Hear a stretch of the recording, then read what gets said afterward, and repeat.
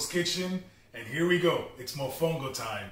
For those of us that follow us on TikTok and Instagram and Facebook at Maicol's Kitchen, uh, we'll put some description here of which each one of those names is. Um, but that said, we put a video of Mofongo. I was, I was having lunch and I tried this recipe out, and I said, yeah, it's going to be a video. It was that good. Everywhere I go, I have mofongo. My, my wife can attest to it. Everywhere I go, I have mofongo. If it's on the menu, it's I have mofongo. If, if there's beef brisket at a smoke shop, I'm gonna have the beef brisket, which I'm gonna make one, one of these days in my in my smoker. But that said, everywhere I go, I have my mofongo. And some places get it good, but 80% of the time, places get it like crap. They'll do uh, mangu, a mangu, which is not a mofongo. A traditional mofongo is deep fried plantains or fried plantains mashed together with an ingredient. Uh, some places will do that with the mashed the plantains and then they'll put shrimp on top, which is fine for, for those people that, that want to order that. But a traditional mofongo has everything in, you know mashed together with the star of the show mashed together and the all important garlic. Right? You, you, you can't have mofongo without garlic. So here's what we got. I got the plantains ready to go and I've chopped them up. You'll see me chop up one so you can see that. I've got the onions going that are already being uh, marinated in vinegar and goya adobo. I got the pilon, which you guys saw me use on what video? On Dominican dinner, on a few other videos. So we'll put a link up here for that pilon where, where you see me using before.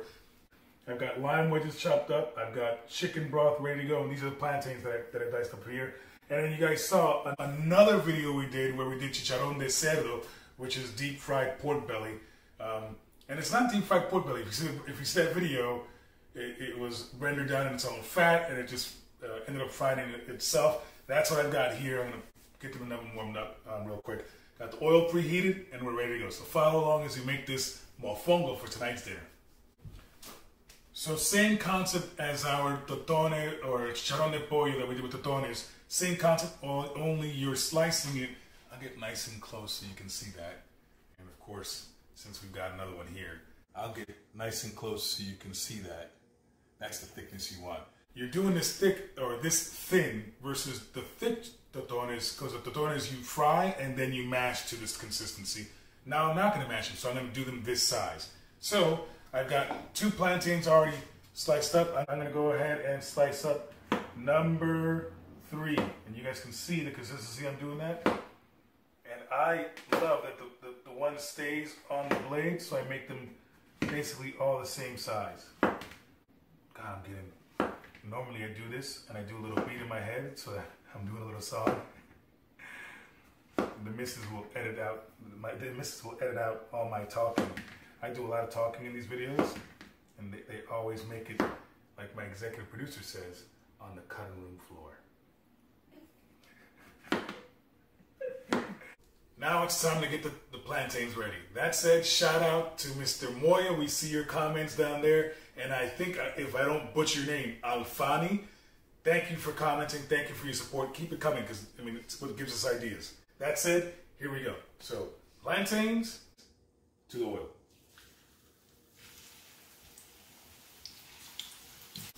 So these have been in here for a few minutes. I'm just waiting for them to get golden brown. When they are golden brown, it's time for them to come out and get the next batch going. So I'm going to take my trusty spider,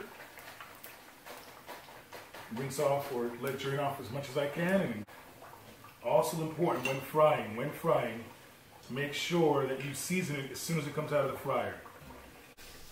Look, when I wasn't recording, they were all jumping into my spider. Now that I'm recording, they're fighting me.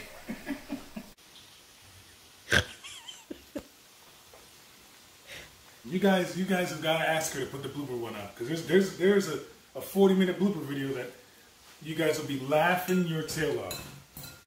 I've got them out. I've got my next batch in. Garlic salt. Taking out my, my infamous garlic salt. A little bit in there and give it a quick toss. And again, as I add in here, I will put more garlic salt in here and toss them up. So I've got my last batch of plantains going as I see my oils ready for my onions. So I'm to take my marinated onions and vinegar and, and adobo and I put them into the pan there. And again, we're just trying to sweat out the onions. So they're gonna sit there for just a few minutes, maybe five minutes while it finishes up. So the onions have been going, what, for five minutes tops? Just until they get, in Spanish, llama mareado. But anyways, we'll get these ready and we'll pour these into our container here until we need them for serving. smells so good.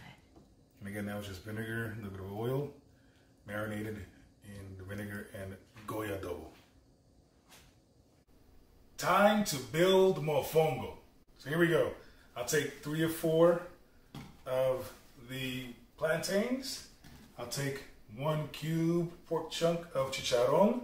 I'll take the garlic, put that in there and just start mashing away.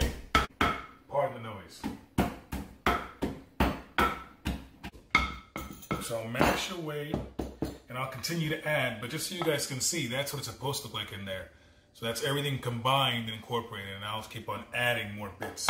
So again, two or three plantains. As you guys can see, I have a spoon around. The spoon is so I can take off, not sure we can see that, take off the side and put back in the middle to start crushing. And you can see the garlic's combined, the pork is combined, the plantains are combined. I'm telling you, it's just perfect. And then I'll, I'll keep on mashing away. I do have some chicken broth. So if this was dry, I would be adding chicken broth on there. But it's it's moist enough because my chicharron is perfect. Once smashed, I'll add again two or three plantains. I'll add one piece of pork and continue on.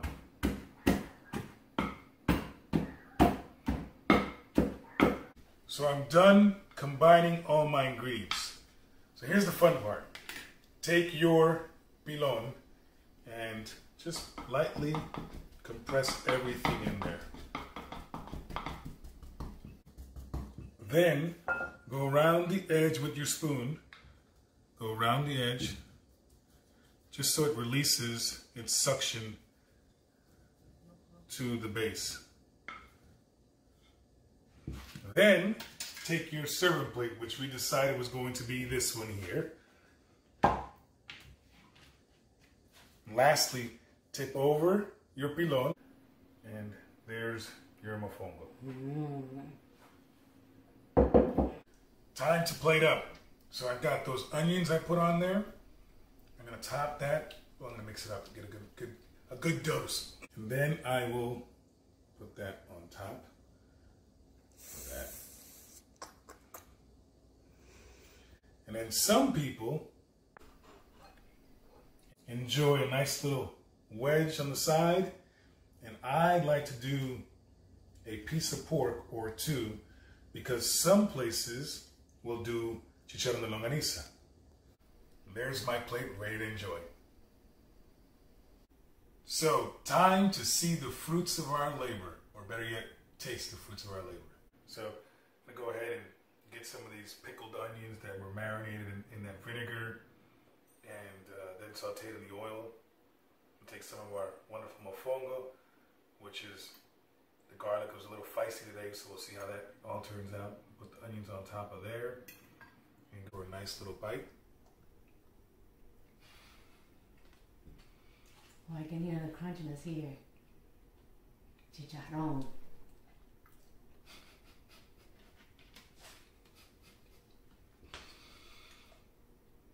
You know what really upsets me is that is like an 11 out of 10 as far as uh, when it comes to my phone mofongo. How can a restaurant that makes money making a mofongo not do it this good? This is freaking phenomenal. While I'm here, I may as well check out the other part that was in there, and that's the chicharrón, the, the cerdo. Put some lime on there. Oh God. I mean, wow. Wow, I didn't save my napkins. Wow. That's good. That said, if you like the video, like the video. Comment down below if you want us to try any recipes in particular. Subscribe for more content. And that said, a buen tiempo. I'm going back in.